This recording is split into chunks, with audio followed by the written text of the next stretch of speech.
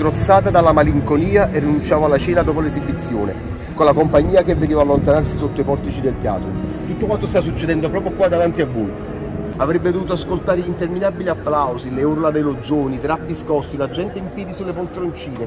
Però quella non era vera felicità se non c'erano lui e Scotti, mia figlia, a condividerla insieme a noi balla, balla tutta la notte, si beve qualche cocktail, um, si sente libera e non si sente condizionata. E allora diventa la ragazza che apre le ali, svolazza nella notte.